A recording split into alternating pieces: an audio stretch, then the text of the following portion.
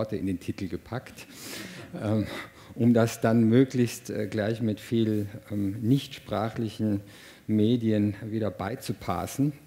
Äh, Schlagbildkatalysator Bergsport heißt das Ganze oder Medialisierung eines Mediums.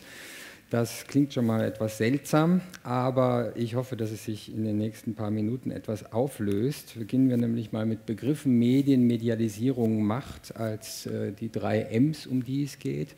Medien kommt ja von Medium, die Mitte, die Mitte, das Zwischen, das, was zwei Seiten ein Stück weit trennt und verbindet zugleich.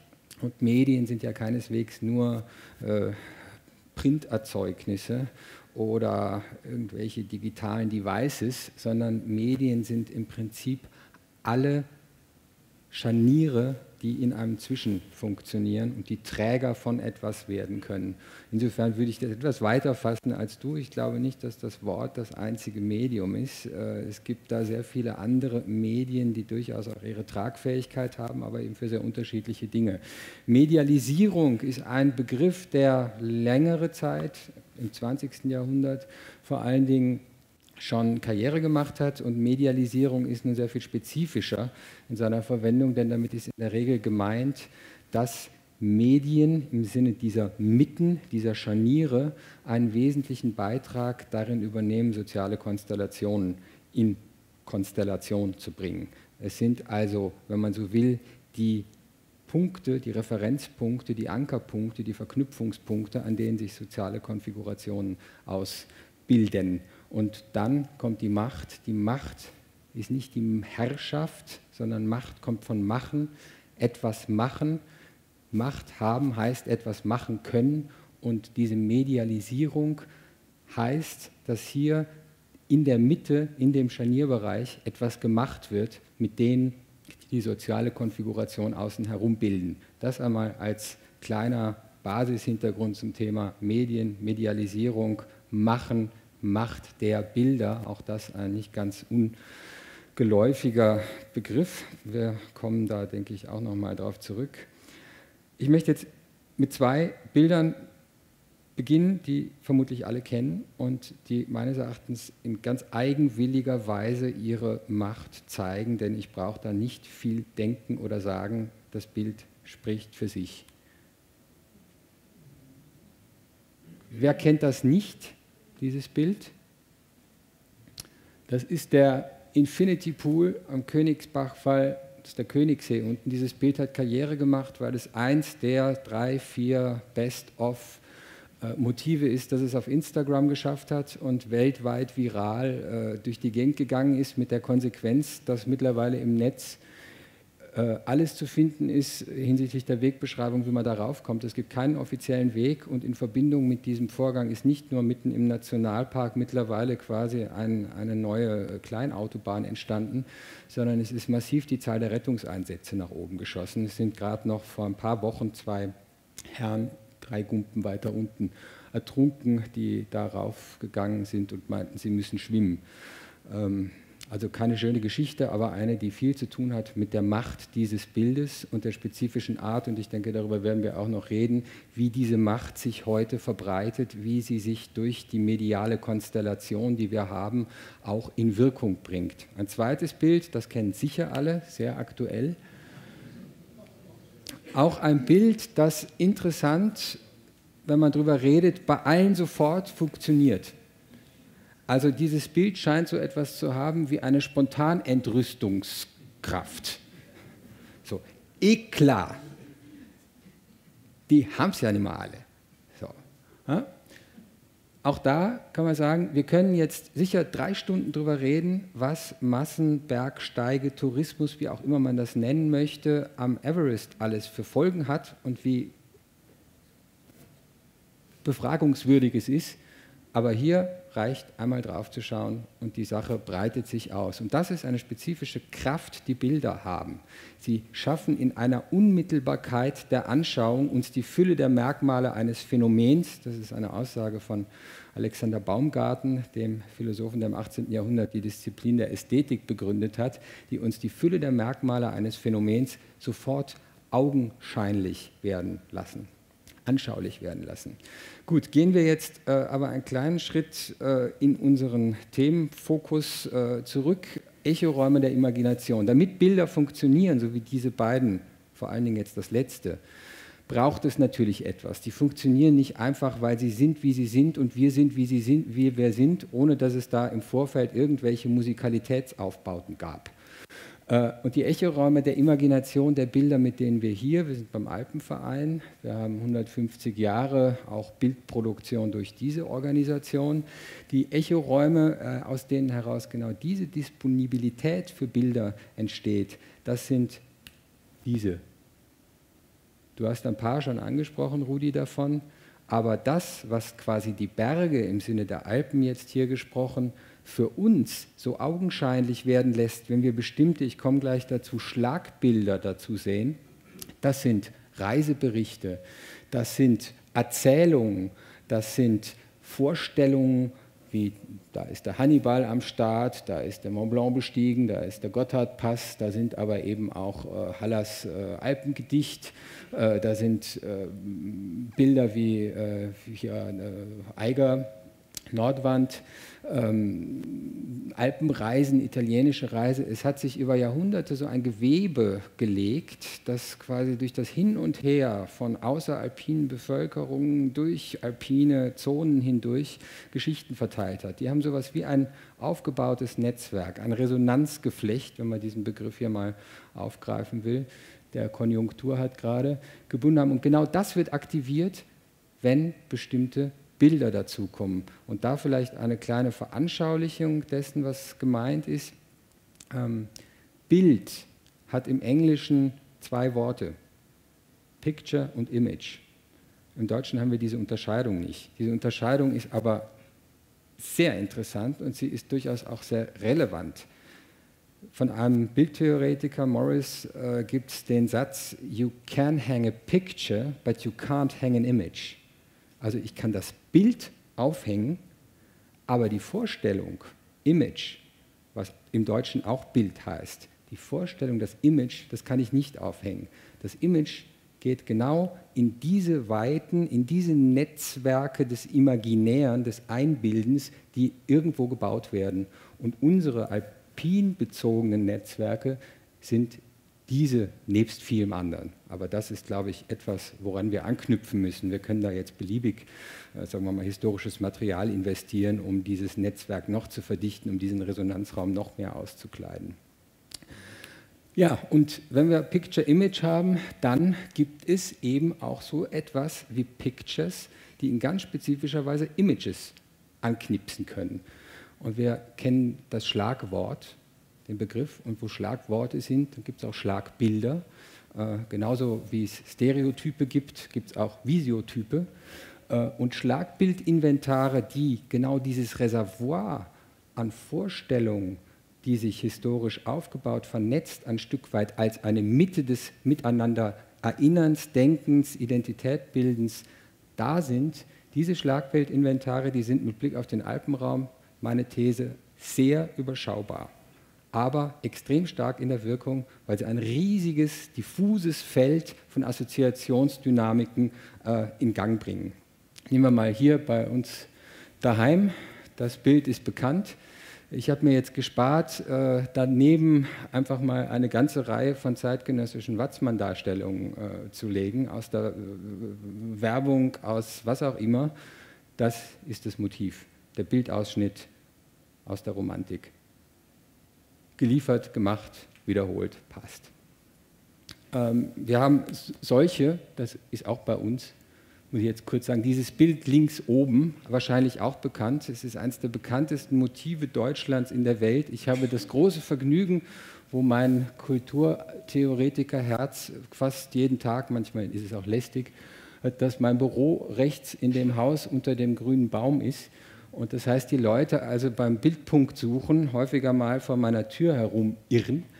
Ähm, also das ist, denke ich, auch so ein Inventar, was sehr gut funktioniert. Damit wird ganz viel angeknipst. Was auch immer das mit der Welt zu tun hat heute, funktioniert. Und das finden da, also es finden tolle, es ist ein, ein großes Theater da links oben. Das ist wirklich sehr spannend. Gehen wir weiter. Auch das ist so ein Teil des Bildinventars, das wir haben. Auch das sind Schlagbilder für die, das kann sich jetzt jeder überlegen, was da kaskadierend im Kopf losläuft, wenn man da drauf schaut, welche Assoziationsdynamiken in Gang kommen. All das sind Schlagbilder. Wir können denen noch einige anfügen, aber ich bleibe bei der These, das Repertoire an Schlagbildern ist nicht so wahnsinnig groß. Wir kommen da gleich darauf zurück und das ist vielleicht auch eine Diskussion, die interessant wird, dann nachher mal mit der Art und Weise, wie ihr zum Beispiel eure Titelbilder auswählt.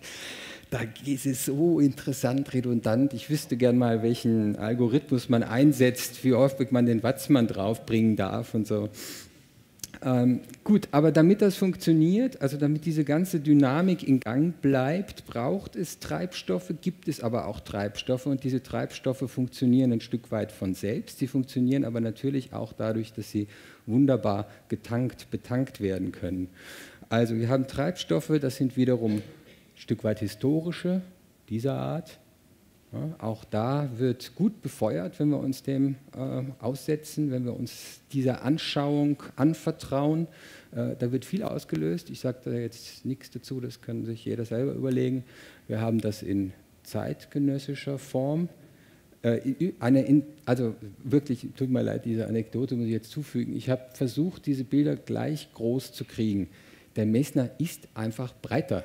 Er sitzt es, es, ließ sich nicht, ich, ich, hätte ihn beschneiden müssen an der Seite. Mit einem gewissen Vergnügen hätte ich auch den Messner beschnitten. Aber seine Buchstaben sind so ans Ende gedrückt in der Breite, dass man, dass man das nicht tun kann. Also das ist interessant jedenfalls. Das übersieht ja hier, ich meine, der 100 ist auch ein schmalerer, aber es, ich finde es jedenfalls interessant, wo, wie sich da schon viel äh, zeigt. Auch überhaupt diese ganze Art der Darstellung. Das also da könnte man jetzt viel über Messner erzählen, was auch immer man von ihm hält, aber das sitzt. Ja, wir haben weitere Treibstoffe. Jetzt, äh, das könnte man jetzt auch die letzten 150 Jahre durch mit unterschiedlichen Motiven belegen. Die sind von der Art der Inszenierung etwas unterschiedlich, aber vom Inventar her nicht so weit weg. Ähm, es verhandelt sich, auch das vielleicht noch als kleine Fußnote, in den Alpen, deshalb sind sie so spannend als Kulturphänomen. Die Alpen sind, und da komme ich zum Titel, ein Medium, in dem sich jeweils Gegenwart verhandelt. Die Gegenwart weht so quasi übers Flachland und in den Alpen bleibt sie hängen, so wie der Föhn. Das ist sowas wie, wie ein Phänomenföhn der Gegenwart. Und Insofern zeigt sich in der Art und Weise, wie am Berg gelebt, wie am Berg gehandelt, was in Bezug auf Berge angeboten und gesucht wird, ganz viel über Gegenwart. Und da erklären sich dann auch so Begriffe wie Sehnsuchtsorte. Es zeigt sich eigentlich immer, ähm, was ist denn eigentlich die Frage, auf die die Berge die Antwort geben, wofür sind sie das Kompensat? Das waren sie vor 150 Jahren für die bürgerliche Gesellschaft, das sind sie heute, wenn ich mir das anschaue, draußen zu Hause, raus aber richtig und so weiter und so weiter. Für eine Gesellschaft, die offensichtlich mit ihrer totalisierten Urbanität beginnt, Schwierigkeiten zu bekommen. So, das auch, also wäre vor 150 Jahren vielleicht nicht das Motiv gewesen, aber mittlerweile auch Teil, denke ich, des Imaginären. Ich habe noch gesucht, ob ich nicht irgendwie so, so, so typische, äh, also so, so ausgestellte Märtyrergesichter gibt es manchmal in so Trailrunning-Darstellungen. Habe ich jetzt keine guten gefunden. Ähm, das auch, Thema habe ich für euch ausgesucht. Das, das ist ein Thema, ich dachte, das vielleicht, man redet ja hier gern über die Rolle der Mountainbiker. Und dann, äh, das hat einen gewissen familiären Hintergrund. Meine Familie stammt nicht aus der Berchtesgadener, sondern aus der Dachstein-Ramsau. Und das ist Teil der Dachsteinwerbung. Ähm, auch das finde ich interessant, weil da zeigt sich relativ viel. Dieses Bild sehe ich und weiß ziemlich genau, äh, was so los ist gerade. Also steht ganz schön für sich. Gut, Nächster Punkt, Autorenschaft. Wir haben jetzt Schlagbilder gesehen, wir haben gesehen Treibstofffaktoren, die quasi durch bestimmte Bilder in die Anschauung und damit auch in den Diskurs kommen. Ähm, jetzt ist die Frage, wer sind denn die Autoren der Bilder heutzutage? Wer ist denn zuständig dafür, diesen Treibstoff zu distribuieren? Wer ist dafür quasi auch ein Stück weit, ähm, ja, was soll man sagen, wer, wer, wer, ist der Träger, der Interessensträger und äh, wer hat da quasi welche Verhältnisse im Machen, ne? Machen, Macht, wer hat die Möglichkeit, mit den Bildern etwas zu machen, wer hat die Macht über die Bilder. Kann man sagen, gut, fragen wir mal, sind das die, jetzt kommt wieder was für ein Alpenverein, äh, sind das die klassischen Printprodukte? Ich habe zwei Leute, die sich nicht in dem Feld äh, bewegen, gefragt, als ich ihnen das gezeigt habe, gesagt, könnt ihr mir sofort sagen, welche nicht kommerziell sind? Es tut mir leid, aber es konnte keiner sagen.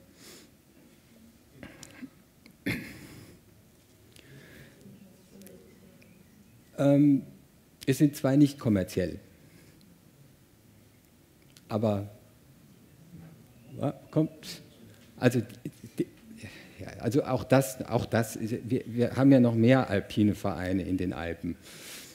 Unter anderem einen in der Schweiz. Und das rechts oben ist das Magazin der Schweiz. Das ist im Übrigen in einer maximalen Hochglanzausgabe immer. Aber gut, also sind das die Autoren? Ich stelle das als Frage, ich will das jetzt nicht beantworten. Oder sind eher das die Autoren? Also, ähm, und zwar sage ich jetzt nicht, weil du da bist, das finde ich super, wenn wir das diskutieren können, aber hier Magazin TV Online.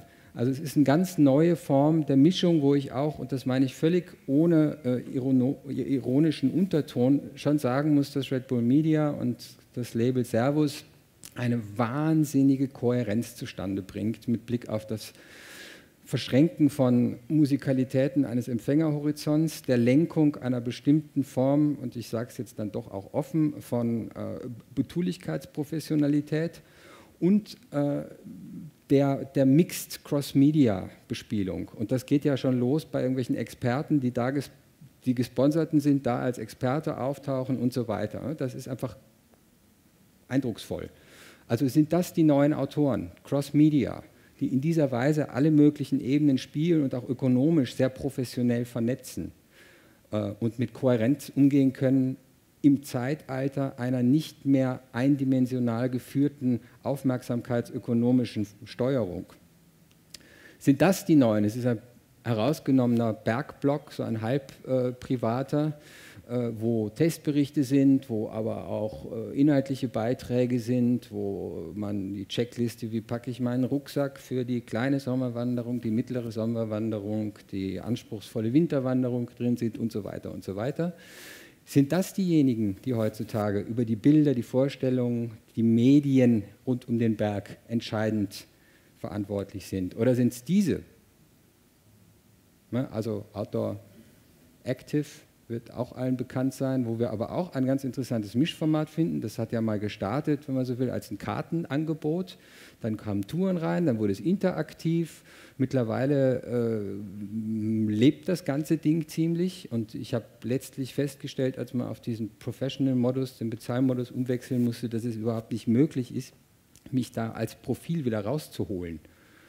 Also ich habe überhaupt kein Interesse daran, dass andere Menschen sehen, welche Touren ich mache, aber es ist gar nicht so einfach, da wieder rauszukommen und die Knöpfe zu finden, die es mir ermöglichen, zu sagen, das, was ich mir selber angeschaut habe, können jetzt nicht andere anschauen und mir zuordnen.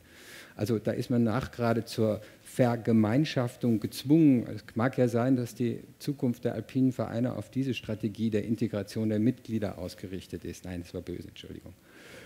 Ähm, oder sind es diese Autoren? Also die Eigenautorenschaft.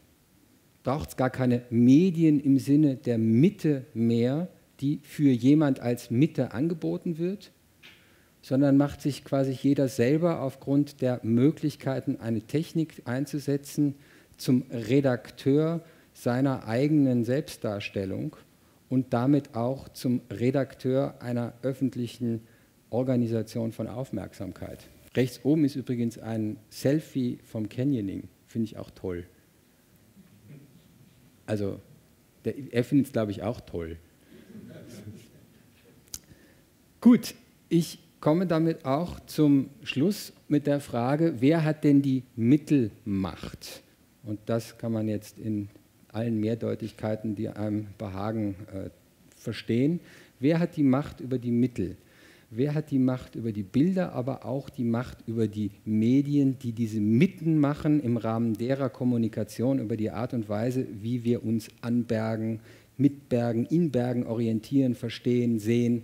Äh, wer hat das? Wer macht das? Wohin läuft das? Und das wäre jetzt mein Input, Impuls für die Diskussion.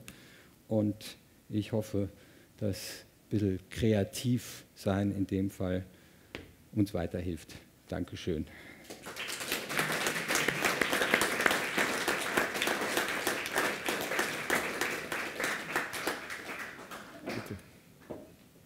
Ja, vielen Dank, Jens, für die Impulse.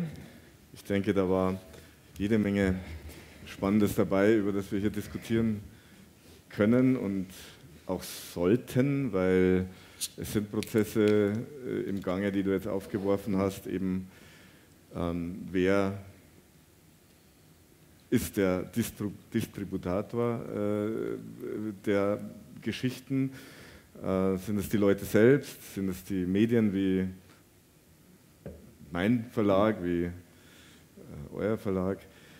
Äh, ich greife gern einen Ball auf, den du in deiner kurzen Ausführung im gewissen Sinne mir zugespielt hast, ohne dass ich das äh, direkt wusste. Es war ja auch ein Cover zu sehen vom Bergsteiger, gerade vorher links oben, Watzmann. Ähm, es ist natürlich so, dass wir uns in, dem, ähm, in der Redaktion auch immer die Frage stellen, was ist das beste Titelbild, was ist das beste Cover. Und Fakt ist, wir wissen, dass wenn wir eine völlig unbekannte Bergregion äh, und da reicht schon, wenn wir im Piemont was äh, bringen, äh, also unbekannt aus der Sicht äh, hauptsächlich der Nordalpenbewohner, weil da ist unsere Hauptzielgruppe, bringen, dann wird das Heft unter Umständen am Markt mau verlaufen und die Verkäufe am Kiosk eher gering sein. Bringen wir aber den Watzmann, dann wissen wir im Prinzip, dass es eigentlich gar nicht schief gehen kann.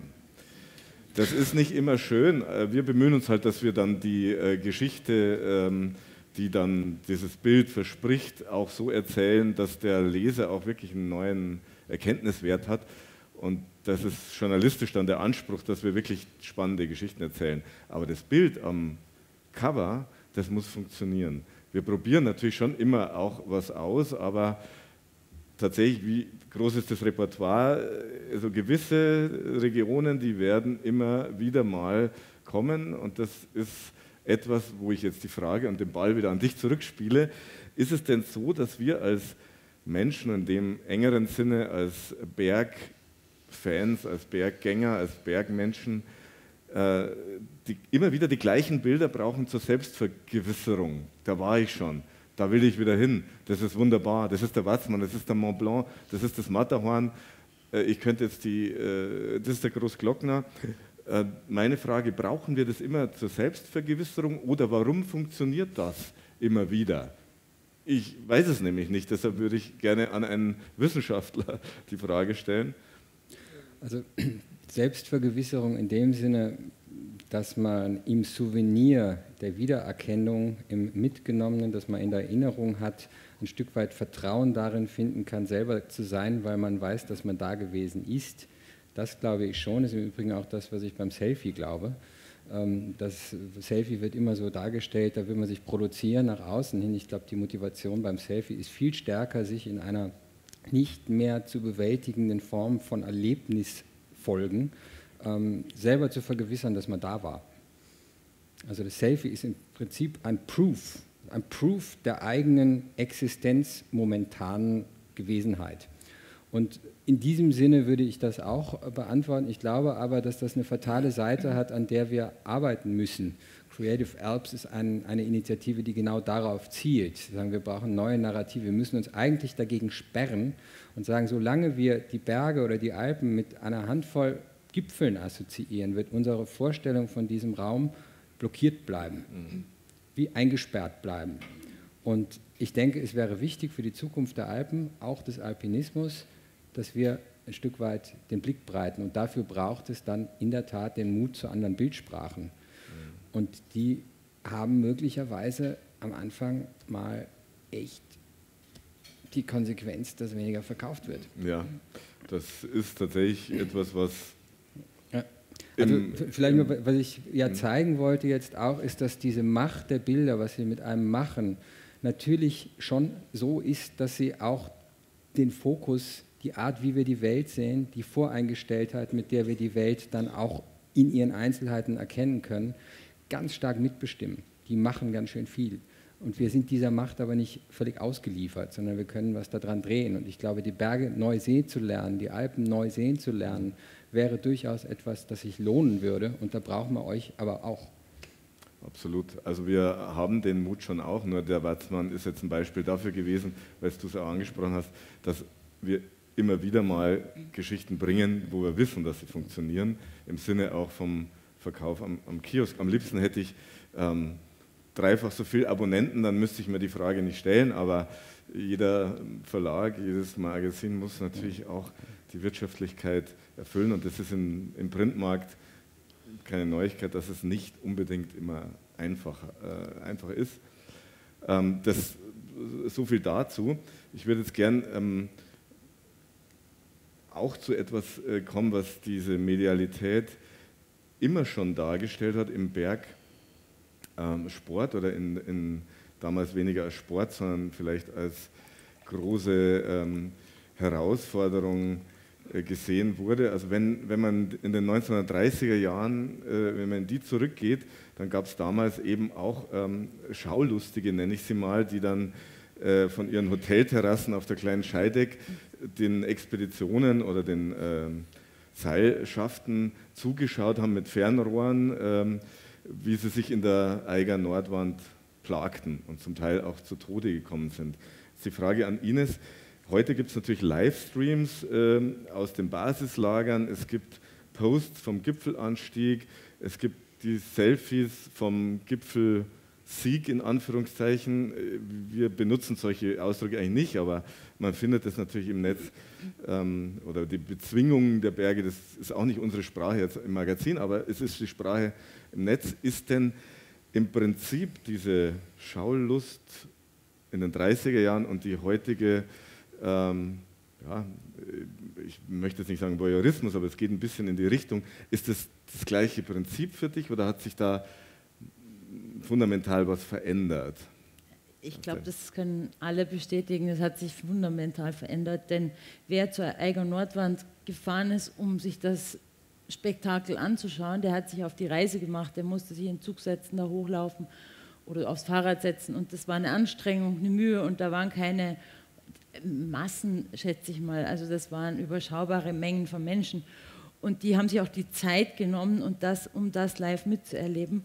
Und heute ist traurigerweise der Antrieb für viele Bergsteiger, und das habe ich selbst beobachtet, ähm, einen Gipfel zu besteigen, ganz klar das Bild am Gipfel auf, auf den sozialen Netzwerken zu kommunizieren. Und ich frage mich, wie viel, ich weiß es nicht, aber ich frage mich, wie viel Prozent von denen, die da am, an unserem höchsten Berg der Erde in der Warteschlange gestanden sind, wie viel sind aus dem Grund darauf gestiegen, um sich irgendwo zu posten, um um den anderen zu zeigen, ich bin ein besserer Mensch. Aber in Wirklichkeit ist er gar kein besserer Mensch. In meinen Augen wäre er ein besserer Mensch, wenn er schreiben würde, was ihn das gekostet hat, wie viele Sauerstoffflaschen da hochgetragen wurden, wie viele Sherpas wurden eingesetzt, ist er mit Hubschrauber hingeflogen, rausgeflogen. All diese Dinge, diese Ehrlichkeit in den ähm, sozialen Netzwerken, finde ich, ist eine Herausforderung für die Zukunft. Und die Menschheit muss auch, die Followers, die müssen kritischer werden. Also da wird gar nicht genau geschaut, wie hat der den Weg dorthin ähm, geschafft oder so. Äh, inzwischen kann das jeder mit dem entsprechenden Kleingeld und diese Worte zwischen den Zeilen oder das Kleingedruckte wird gar nicht mehr wahrgenommen. Sowas gehört in die Headline, das gehört ganz klar kommuniziert und ich nehme mich und meine viele Kollegen aus äh, dem Bergsportbereich da auch nicht aus. Wir müssen auch ein bisschen Vorbild sein und nicht ein bisschen, wir müssen Vorbild sein für die Menschheit, nicht nur die Banalitäten zu posten, sondern die Dinge, wie sie wirklich waren. Mhm. Und das stimmt mich traurig zu sehen, wie wie oberflächlich diese Welt geworden ist. Und natürlich glauben die Menschen alles und nehmen das auch so ganz banal hin. Und mhm. das ist eine ganz interessante Entwicklung, traurige Entwicklung.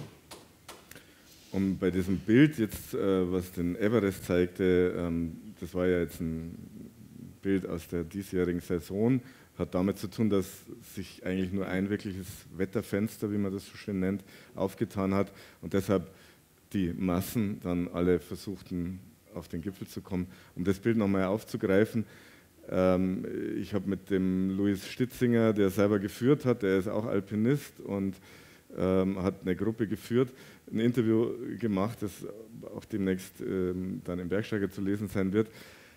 Der hat ganz ehrlich darüber gesprochen, dass es tatsächlich eine Sache des Geldes ist, dass die Menschen, die viel, also die Kunden, muss man sie ja nennen, die viel ausgegeben haben, hatten zweifache, dreifache Sicherheit, mehr Sauerstoff, als sie eigentlich benötigt haben.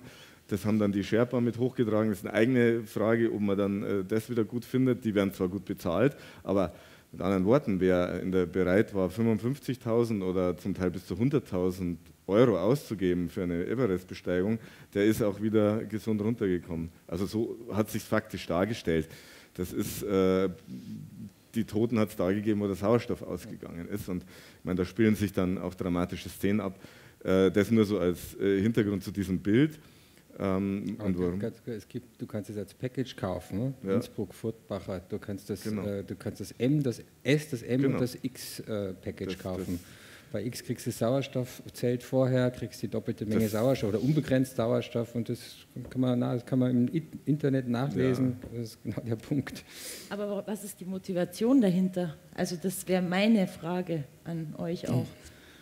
Der, es sind mehr Bergsteiger geworden, hundertprozentig. Man kann sich Aber das warum? heutzutage kaufen äh, und äh, sozusagen sich, sich mehr oder weniger hoch äh, transportieren lassen. Das hat der Messner auch immer äh, kritisiert, dass es ähm, Autobahnen sind, die mittlerweile zum, zum, zum äh, Everest hochgehen.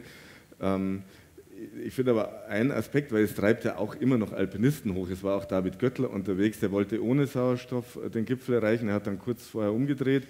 Haben vielleicht viele irgendwie auch mitbekommen, gelesen, weil er dann in diese Schlange gekommen wäre und für ihn wäre es dann auch unter Umständen ähm, ja, Gefahr des Todes äh, äh, gewesen, also äh, lebensgefährlich. Ähm, wenn man jetzt beim, beim Spitzensportler bleibt und wieder bei dieser Medienwirksamkeit des Spitzenalpinisten, dann habe ich eine, eine, Frage jetzt mal an die Mesi. Ähm, Im Prinzip ist ja ein Top-Alpinist auch so ein moderner Märtyrer heute. Ja? Er setzt sein Leben für Höchstleistungen aufs Spiel, sieht man immer wieder sterben. Ähm, Alpinisten sind nur 50 Prozent, die wirklich 50 äh, werden von den Top-Alpinisten. also die Hälfte der Top-Alpinisten erreicht dieses Alter nicht. Das zeigt doch, was auch für, eine, für ein Gefährdungspotenzial da drin steckt.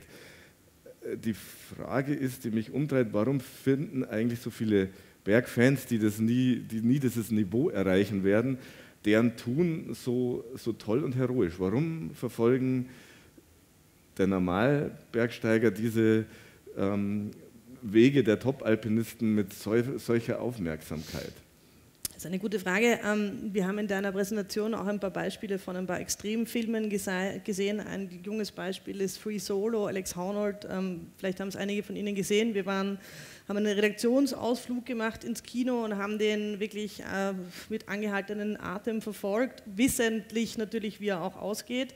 Ähm, ich glaube, das ist ein ganz gutes Beispiel dafür, dass man einfach irgendwie in diesem Film und sozusagen auch mit dem Protagonisten Howard einfach gesehen hat, ähm, dass Menschen, die wissentlich ihr Leben riskieren für diesen ich sage es jetzt mal banal, Kick und äh, dieser, dieser Adrenalinkick oder was auch immer das dann sozusagen über Menschen bewirkt, dass ja der Zuschauer oder der Außenstehende mit so einer Faszination des Nicht-Nachvollziehens sozusagen irgendwie dagegenüber sitzt, dass er das verstehen will und deswegen auch diesem Protagonisten, so glaube ich, folgt und, und auch irgendwie sehen möchte, wie, wie geht es dem im echten Leben, wie kompensiert er sozusagen irgendwie Extremsport mit Familie und normalen Weg sozusagen und hänge ich da jeden Tag in einer Wand oder mache ich das nur alle paar Zeiten oder wie auch immer.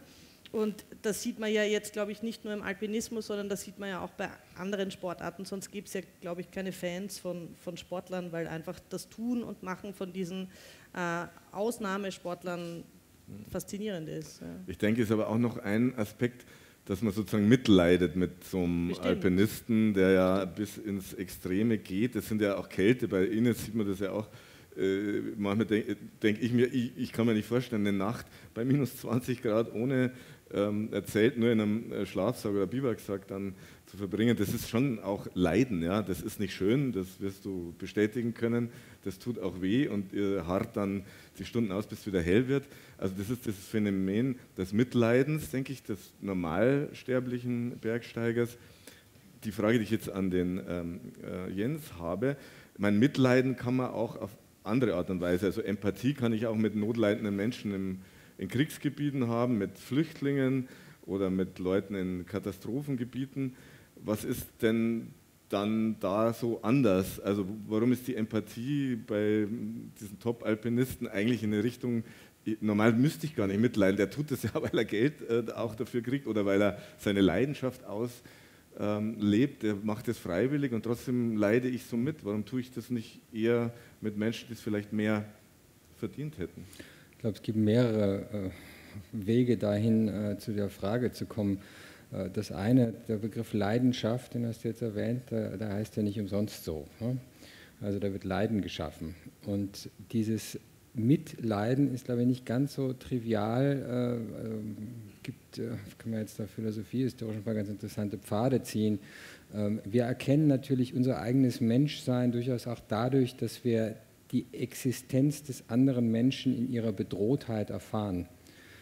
Das schafft eine Art von Barrieresenkung in der Wahrnehmung, die es uns ermöglicht, uns selber als Mensch zu führen, das fühlen. Ne? Da, kann jetzt, da gibt es jetzt verschiedene Varianten, das auszubuchstabieren, aber es wäre für mich ein anthropologisches Argument.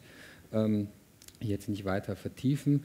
Äh, eine zweite Geschichte, die ich da schon auch für wichtig halte, äh, es geht hier um eine Art von Zweckfreiheit. Es ist eine spielerische Aktivität. Alpinismus dieser Form ist Spiel im Sinne von, also von Lessing stammt diese Formulierung, der Mensch ist nur da Mensch, äh, wo er spielt. Ähm, es ist, es ist die Performance eines Spielerischen. Es ist nicht notwendig, es zu machen, aber es wird trotzdem getan. Das heißt, hier sagt jemand, ich will. Nicht ich muss, sondern ich will. Und das ist im Prinzip die, die performative Materialisierung des Wollens. Und dann kommt die dritte Ebene. Wir haben nicht nur im Bereich des, äh, sagen wir mal, Zuschauens beim Extremsport, sondern auch in anderen Bereichen heutzutage eine ganz gute Form äh, der, der Ökonomie äh, des, des Kollateralwahrnehmens.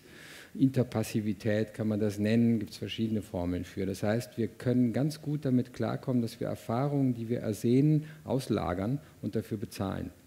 Genauso wie wir unser schlechtes Gewissen äh, mit Blick auf bestimmte Dinge, die wir tun, von denen wir wissen, dass wir sie nicht tun sollten, dadurch auslöschen können, dass wir Fairtrade-Kaffee kaufen.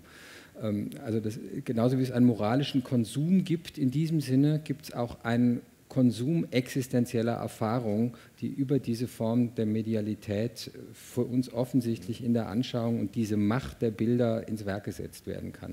Und das wären jetzt für mich mal diese drei Ebenen, die ich für die Frage da ausschreiten würde. Ich würde gleich an Ines, ähm, du bist die Einzige hier im Kreise, die wirklich in diesen Regionen unterwegs bist. Also ich meine jetzt ähm, äh, als, als Spitzenalpinistin, du gehst an, an die Grenzen. Ähm, wie, also wie gehst du damit um, dass sozusagen dir viele folgen, die irgendwie an dem Anteil nehmen, was du auch durchleidest. Ne? Natürlich sind viele Glücksmomente dabei, mhm. aber du durchleidest ja gerade mit diesen Wintergeschichten, mit den Eisgeschichten, das ist ja, ja. alles andere als angenehm. Ist das für dich sozusagen, blendest du das aus oder pusht dich das? Wie? Naja, während dem Klettern teile ich eigentlich so gut wie nie. Also ich bin da ganz konsequent und, und kommuniziere das auch mit meinen Sponsoren, dass ich mich beim Bergsteigen, beim Klettern auf mein, meine Aufgabe zu 100 Prozent konzentrieren will. Und äh, ich lasse mich da auch in keine Richtung drängen oder so. Und ich wundere mich oft, wenn Kollegen aus dem Himalaya vom x-ten Besteigungsversuch, nicht mal aus dem Basislager, sondern während der Be Begehung posten und kommunizieren. Ich denke mir, wie haben die die Kraft, sich jetzt noch zusätzlich zu diesem medialen Input, den sie geben müssen, auf das eigentliche Ziel zu konzentrieren, was schwer genug ist. Und ich gehe bewusst in die Berge und dorthin, wo kein Handyempfang ist, wo kein Internet mich von dem ablenkt, was jetzt mein, meine Aufgabe ist.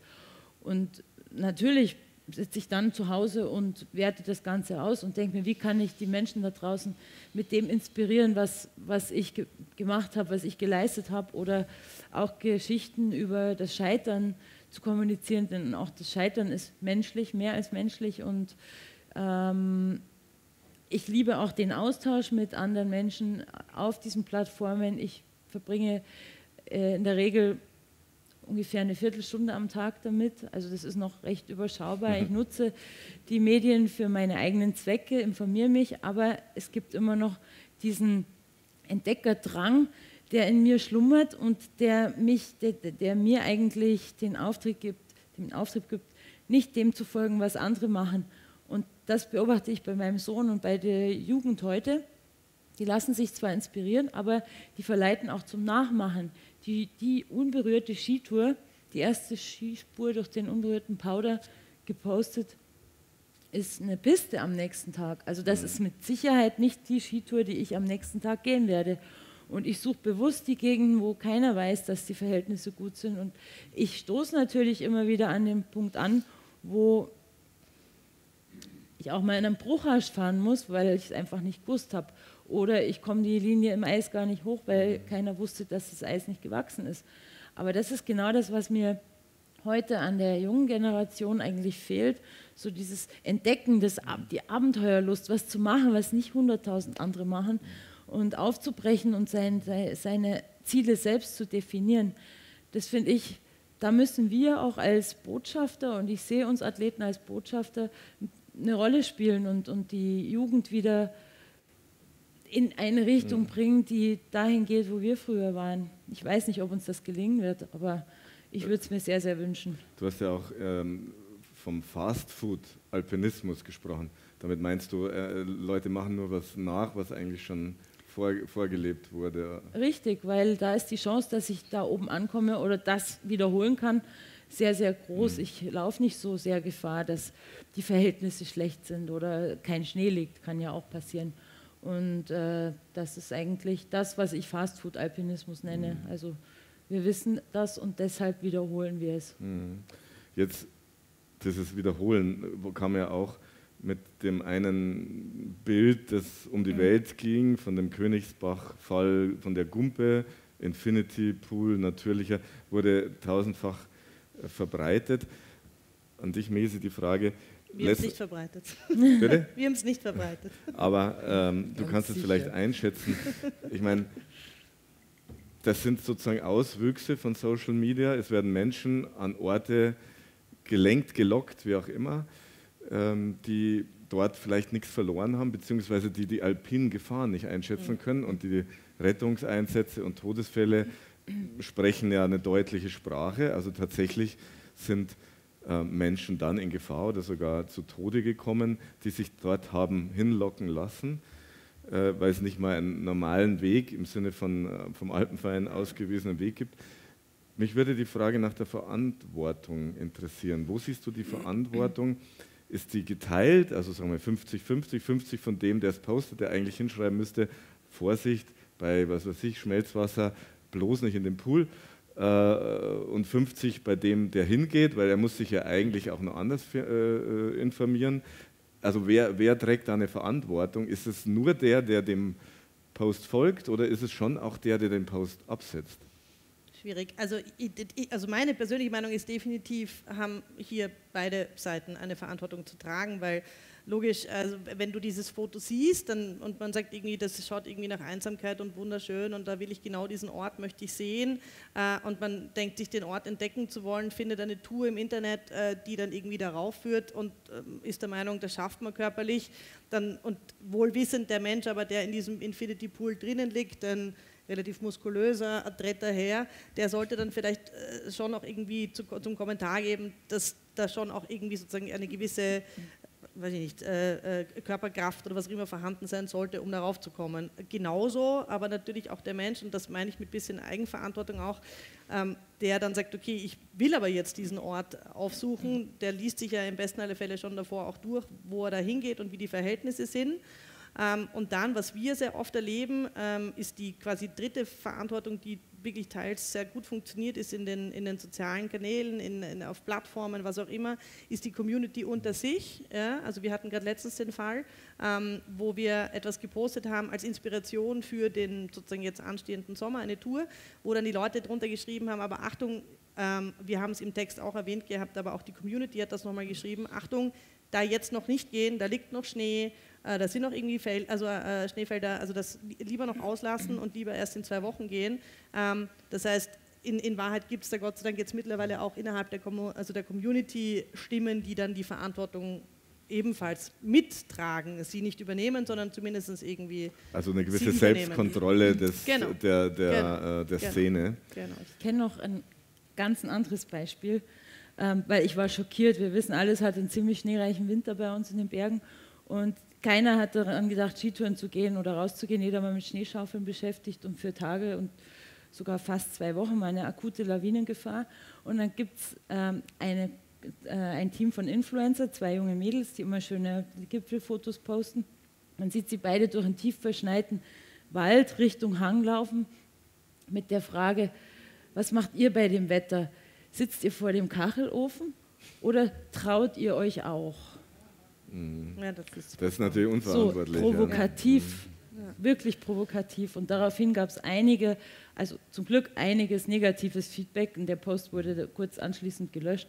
Aber traut ihr euch auch? Nein, das ist, das ist klar, das ist ganz klar unverantwortlich. Da braucht man gar nicht, ja. äh, das, das, kann man nicht gutheißen, nicht gut finden. Das ist, äh, ja, aber wurden Sie dann wenigstens von der Community äh, sozusagen kritisiert dafür? Ja, natürlich. Ja, also das, das ist ja dann, das meine ich dann mit der dritten, also dann gibt es ja zumindest Community, die dann sagt, ich meine, sorry, aber ich entfolge euch jetzt oder ich fand euch mal gut oder was auch immer, ja, weil das schadet ihnen eher. Definitiv. Ich würde gerne was anfügen zu dem, was du gesagt hast.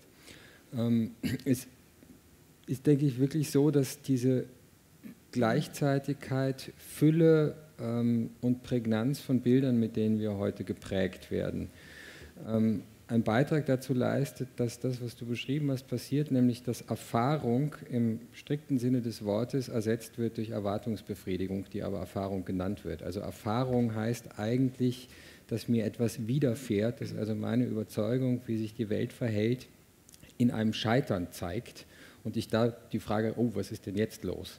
Ähm, vor diesem Scheitern haben wir massiv Angst. Äh, insofern möchten wir gerne lieber Dinge, wo Erlebnis draufsteht mhm. und Erwartungsbefriedigung ähm, abgesichert wird. Ne? Also ich zahle halt doch vielleicht das XL-Paket, äh, ein bisschen Flasche mehr dabei.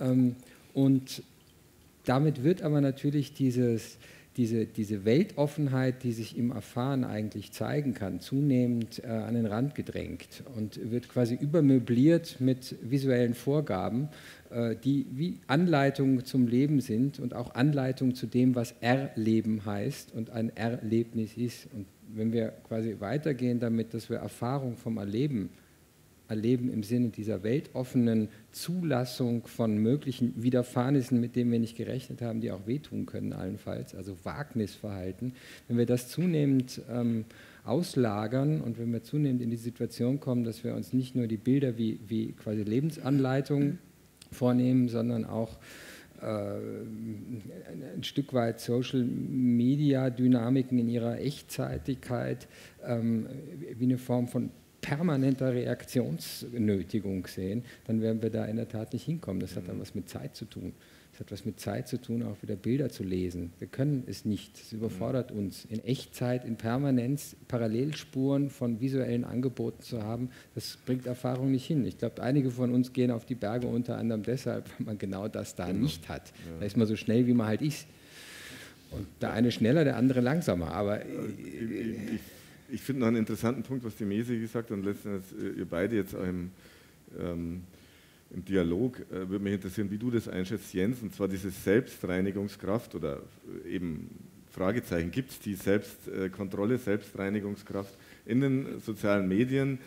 dahingehend, dass sozusagen Leute, die etwas posten, was eigentlich unverantwortlich ist im, im Bergsinne, also für erfahrene Berggänger, wo es dir die Haare aufstellt, dass das sozusagen sich selber reguliert. Wie, wie siehst du das? Bist du eher optimistisch oder pessimistisch? Also ich glaube, es ist eine empirische Frage, für, für die ich mich nicht kompetent sehe zu ja. antworten. Das müsste man sich anschauen. Äh, was ich allerdings bei dem, was ich verfolge, ähm, sehe, weil ich ein bisschen ja, mit der Bergrettung zu tun habe und auch so Zukunftsszenarien mache und wir uns natürlich schon auch anschauen, wie laufen Kommunikationen und wie ist quasi der Selbstlernprozess einer Community, die sich permanent in Kommunikation miteinander hält. Es wird halt einfach sehr viel nach dem Prinzip gehandelt, jeder muss jetzt irgendwie was sagen. Und ob das wirklich eine Form von Selbstregulationseffekt hat, den man sich wünscht, weiß ich nicht. Äh, es, gibt die Tendenz, es gibt die Tendenz, dass Geschichten, die man erlebt hat, äh, genauso selektiv erzählt werden, wie du es beschrieben hast. Also ich rede quasi vom gelungenen Ziel her. Und wenn ich über Scheiternselemente rede, dann, wenn ich sie quasi irgendwie äh, dramaturgisch sexy verpacken kann. Aber so nach dem Motto, das war wirklich scheiße heute. Mhm und ich bin wirklich dreimal an den Punkt gekommen, wo ich dachte, ich habe überhaupt keine Lust mehr, es geht mir gar nicht mehr gut oder ich weiß nicht, ob ich hier jemals wieder runterkomme. Das findest du nicht in diesen Beschreibungen. Ja. Und ich bin sicher, dass es nicht deshalb, weil man es nicht findet, nicht stattfindet. Ja. Und, und deshalb glaube ich auch, also so wie du gesagt hast, bin ich ganz deiner Meinung, also wir müssten eine Kultur der Ehrlichkeit, wir reden die ganze Zeit von Authentizität. Authentizität von Authentikos, ne? Be mhm. beglaubigen, Echtheit. Ja, wir müssen uns dann, glaube ich, auch mal trauen zu sagen, hey, das war scheiße, was ich gemacht also habe. Da habt ihr sicherlich, also Ines, ihr als Spitzenalpinisten Vorbildfunktion, wie du schon gesagt hast. Und ich stelle das tatsächlich fest, zumindest in den letzten äh, sieben Jahren, wo ich jetzt einen genaueren Blick drauf habe, dass viele Alpinisten offen über ihre Schwächen reden, über ihre Ängste, über ihr Scheitern. Also manchmal schon so viel, dass mir denke, es ist auch schon wieder irgendwie ein bisschen Kultur, äh, um, äh, um, sich, äh, um sich irgendwie auch zu vermarkten, ja, als die ähm, Person, mit der man dann mehr Empathie noch hat. Aber äh, zumindest das findet statt. Was ich jetzt, äh, um das ganze Social-Media-Thema nochmal aufzugreifen, äh, an die Mesi die Frage stellen wollen, es ist ja auch ein Faktum, dass die Bilder, die gepostet werden, oft nur einen Teil der Wirklichkeit darstellen. Also den unverspurten Hang, den Gipfel, wo man nur äh, die jeweilige Person sieht. Und im Jahrbuch äh, 2019 von Alpenverein ist da ein längerer Artikel drin, der ist, glaube ich, sogar von einer Kollegin von dir, wo genau das auch mal beschrieben wird, das Phänomen. Ich meine, im Prinzip kann man es verstehen, menschlich ist das, ja, dass man in sich zeigt äh, und damit sagen will, Mensch, schau mal, wie toll das war, wo ich da gestern in den Bergen war oder heute. Ähm, aber was meine, da ist dagegen kein Kraut gewachsen oder wie, wie kann man, also wie soll man damit umgehen, wenn im Prinzip Bilder auch lügen? Also da, auch da würde ich jetzt sofort wieder an einen selbst ein bisschen appellieren. Ich nenne ein ganz banales, ganz anderes Beispiel. Wir kennen das alle, wir fahren irgendwo hin auf Urlaub in eine Stadt, ich sage jetzt mal Rom, und man geht da in der touristischen aller Straßen und dann hat man da irgendwie die Signore, die dann stehen mit den Karten und den Speisen und dann denkt man sich, ah, das schaut aber köstlich aus und dann bestellt man sich eine Speise dieser Speisen und kriegt auf den Teller etwas, was mit dem Foto, das man vorher gesehen hat, nichts mehr zu tun hat. Und wir kennen dasselbe wahrscheinlich irgendwie, indem wir irgendeine Reise buchen und an den Strand sehen und uns dort irgendwie sehen, okay, da ist kein Mensch, da will ich hin und dann kommt man hin und die Realität schaut anders aus. Also eigentlich ist uns das ja immer schon irgendwie ein bisschen bewusst gewesen, dass ähm, Medien, ja, und äh, Veranstalter, was auch immer, einem zum Teil natürlich nicht immer die Wahrheit verkaufen. Ich finde es zum Teil dann eigentlich eher schlimm. Also für mich ist ein gutes Beispiel der vielleicht allen bekannten Praxer ähm, der Praxer äh, äh, Bergsee in, in, Südtirol. Der wurde bei uns bei, bei, Bergwelten auch mal zum beliebtesten Bergsee gewählt, interessanterweise.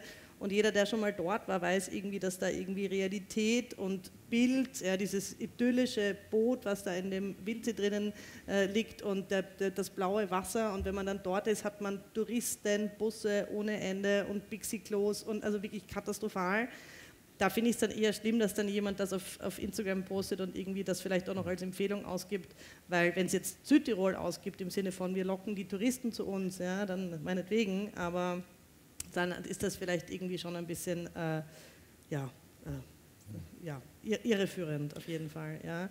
Ähm, aber ganz generell, das ist ein guter Punkt, auf den ich eigentlich mit dir schon die ganze Zeit vielleicht zumindest nicht streiten, nur diskutieren wollen würde, ähm, der in deinem Vortrag ja auch vorgekommen ist und der ähm, bei der ersten Frage auch aufgeworfen wurde, in die Richtung sozusagen, wie wir unsere Titelbilder auswählen und ähm, dass wir zu wenig Realität zeigen, weil halt wir vielleicht irgendeinen wirtschaftlichen Aspekt erfüllen müssen. Ich würde jetzt nicht nur, also was ich gerne unterstreichen würde, ist, wir arbeiten oder machen unsere Jobs ja nicht nur, um irgendwelche wirtschaftlichen Aspekte unserer Kunden zu erfüllen, sondern wir wollen ja die Bedürfnisse unserer Leserinnen und Leser irgendwie erfüllen. Und ich glaube, ähm, ich, ich würde gerne mal so einen AB-Test machen tatsächlich und irgendwie ein ich weiß jetzt auch gar nicht, was ist ein nicht schönes Bergbild? Das ist, müssen wir auch noch definieren. Ja? Was, ist die, was ist die andere Seite des Berges? Ja, ja, ein schierer warum, Berg, ich weiß es nicht. Warum brauchen wir Schönheit überhaupt? Was ja, ist das für ein Kriterium? Ne? Also Attraktivität und Attraktivität. Wir, wir, wir also verkaufen wir, Träume. Wir verkaufen Träume genau, mit dem Magazin. wir verkaufen auch, also, keine Nachrichten. Also genau. und die Menschen haben den ganzen Tag und wir wissen, wie, wie unsere Weltpolitik ausschaut. Oder wenn man auf Social-Media-Kanälen unterwegs ist, da ist ein toter Hund und da ist ein krankes Kind und da ist ein... Also es ist ja viel Schreckliches dabei dabei und wenn dann irgendwie als Brecher dazwischen mal irgendwie ein Alpenglühen kommt oder ein Praxer Wildsee, auf dem Foto zumindest ist schön ausschauend, dann holt uns das kurz irgendwie raus und sei es irgendwie eine kurze Stimmung, die in unserem Hirn passiert. Und wenn ich ein Bergwelten, ein Bergsteiger, ein Alpinmagazin, was auch immer, mir am Sonntag, am Nachmittag auf meinem Sofa zu Hause mal durchblätter und dann das Gefühl habe, ich war heute schon irgendwie draußen, indem ich nur eine halbe Stunde dieses Magazin geblättert habe, dann finde ich das irgendwie auch okay. Ja. Also darf auch sein. Also, um klar, jetzt mal zu mein, verteidigen. Sicher, nein, also es sind ja zwei Ebenen. Das eine ist, äh, ich, eine These wäre ja schon die zu sagen, das Repertoire an Schlagbildern, das überhaupt verfügbar ist, ist sehr überschaubar. Mhm. Das heißt, selbst wenn ihr anders wolltet, könntet ihr gar nicht so ohne weiteres. Äh, und das, das, das Zweite ist aber schon die, die Frage, die man stellen muss, ähm, also geht es nur um Bedürfnisbefriedigung. Und was ist die Folge, auch da jetzt verantwortungsmäßig äh, argumentiert, was ist die Folge dieser Bedürfnisbefriedigung? Ich meine, wir können jetzt mit allen Formen von äh, Verfremdungszusammenhängen und so weiter, da haben wir ein Repertoire an, ähm, an, an, kampftheoretischen Vokabularen, äh, mit dem man das jetzt hier problemlos zerlegen könnte. Aber die, die interessantere Frage ist ja, was, was sind quasi die Ausgriffe der Verantwortung, die ihr mit habt? Sind die nur am Sofa ähm, oder sind die nicht auch in den Köpfen derjenigen, die dann sehr vehement einfordern, dass die Alpen bitte so aussehen sollen, wie sie auf diesen Bildern abgebildet sind? Und sind das dann nicht Konsequenzen für diejenigen, die in Alpen leben, die dann quasi eigentlich nichts mehr anderes tun sollen dürfen, als die Kulissen so zu erhalten, wie sie in den Bergen und so weiter und so weiter? Und da sehe ich schon äh, wirklich ein großes Fragezeichen. Wer sind denn die Stakeholder, die daran mitwirken können und müssten, dass wir den Alpenraum als einen attraktiven Raum in die Zukunft bringen?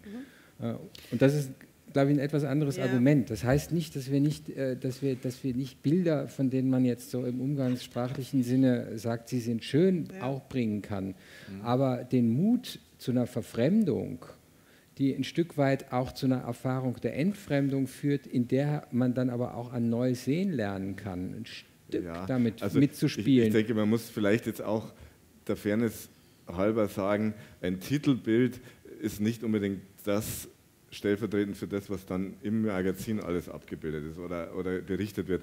Wir, wir nehmen uns immer wieder Themen vor, wie die GTA, ein wunderbarer Weitwanderweg, der auch äh, wirklich mit sanftem Tourismuskonzept hinterlegt ist, etc. etc. Wir haben Zipra-Themen und so weiter, aber das Titelbild muss einfach eins erfüllen, nämlich dem Leser vermitteln, dort will ich sein. Es muss ein quasi Traum erfüllen. Und ich habe jetzt das aktuell, also das ist noch gar nicht am Markt mitgebracht, da ist jetzt kein Watzmann drauf und kein Mont Blanc.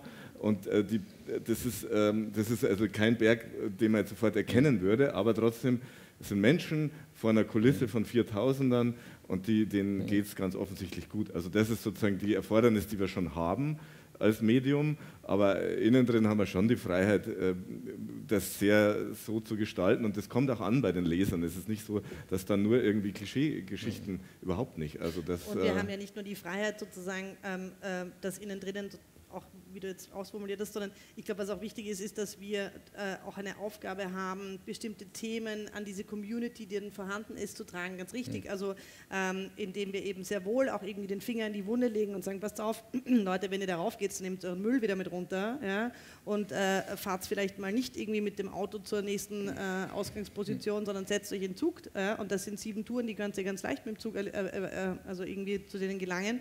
Also ich glaube, da ist unsere Verantwortung, wenn wir schon Zuhörerinnen und Zuhörer haben, eine Community mhm. haben, denen nicht jeden Tag zu sagen, geht's auf den Watzmann, ja, sondern eben auch ähm, tragt dann irgendwie euren Teil dazu auch irgendwie bei. Und da habe ich zumindest das Gefühl, dass da irgendwie die Akzeptanz schon sehr, sehr vorhanden ist und sich das dann irgendwie hoffentlich auch so ja, darstellt. Mhm. Ich würde gerne eine ja. Sache zum Thema Bild ähm, an, also ich glaube, man muss schon mit einbeziehen, dass die nächste Generation unserer ganzen Digital Natives mit Bildern anders umgeht, als wir das tun. Äh, also die wissen alle, was man mit Bildmanipulation machen kann. Äh, die haben ein ganz anderes, ähm, quasi die, die haben eine Hermeneutik des Verdachts, wenn man so will, mhm. im Umgang mit Bildern. Ähm, das ändert nichts daran, dass sie genauso quasi schlagbildorientiert sind, aber ich glaube, man muss zumindest mitbedenken, dass die Next Generation ähm, da eine andere visuelle Kompetenz hat, die was mit unterschiedlichen medialen äh, Sozialisierungen zu tun hat. Und also ich richtig. will das wirklich nicht übertreiben. Ich, ich, finde es interessant und das, deshalb spreche ich hier jetzt nicht als Moralakteur äh, oder, oder Ethiker, sondern als Ästhetiker. Ich finde es interessant, wie diese Motive funktionieren und ich finde interessant, warum andere Motive nicht funktionieren und ich finde es interessant, wie mit Bildsprache Gegenwart mhm. verhandelt wird. Das absolut, ist mein ja. Punkt. Absolut. Dass ihr nein, zum nein, Beispiel offen seid, ihr habt es ja selbst nicht mal ins Gipfelinterview ja. gelassen. Ja, weiß ich, ja. ja. Hatten wir also, nachzulesen äh, auf bergwelten.com das mit der, mit der jüngeren Generation ist absolut richtig, dass die ein anderes Verständnis äh, oder auch eine Herangehensweise haben, den Bildern einfach schon mal nicht so trauen, wie wir das vielleicht noch tun. Äh, ich würde gerne noch auf einen Punkt kommen, der äh, vor allem auch die Frage der Vermarktung von Spitzenalpinisten ist und die Ines da fragen, ich meine, du hast dann den Weg, als du Erfolge hattest, dann kamen die ersten Sponsoren, haben angefragt, du hast dann den Weg eingeschlagen zur Profi-Alpinistin, hast das Physiotherapie dann sein lassen.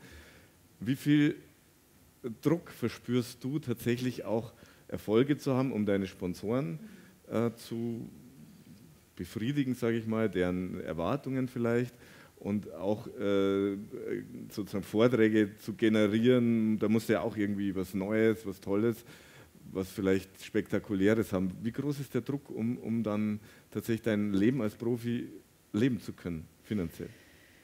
Ähm, das kann man ganz schwer verallgemeinern, glaube ich. Also ich muss da vielleicht ein bisschen länger ausholen, weil in meinen Anfängen, ich war blutige Anfängerin in diesem Sport im Eisklettern, habe ein paar Mal trainiert, bin zum Weltcup gefahren, wurde auf Anhieb Zweite, aber da ich keinen das erklärt, was für ein großartiges Talent ich bin. Aber auch, dass die Konkurrenz relativ schwach war noch zu dem Zeitpunkt. Ähm, ich besaß kein eigenes Paar Eisgeräte und ich musste mir die bei Black Diamond, die hatten dort einen Stand, ausleihen und, und ich durfte mit den Eisgeräten klettern. Und als ich die dann zurückbringen wollte, hat man gesagt, nee, die kannst du behalten. Ohne Erwartungshaltung, ohne irgendeine, mhm. ja, irgendeine Verpflichtung, die damit im Zusammenhang stand die wussten nicht, dass ich im Jahr drauf und die anderen Jahre das Rennen jeweils machen werde. Und das hat mir gezeigt, hey, da besteht Vertrauen, oder? Und von da an ist es gewachsen. Und ich bin eigentlich zufällig in, diese, in diesen Beruf gefallen oder Berufung und äh, musste mich irgendwann entscheiden, das andere aufzugeben. Physiotherapie, das hätte ich jederzeit wieder anfangen können.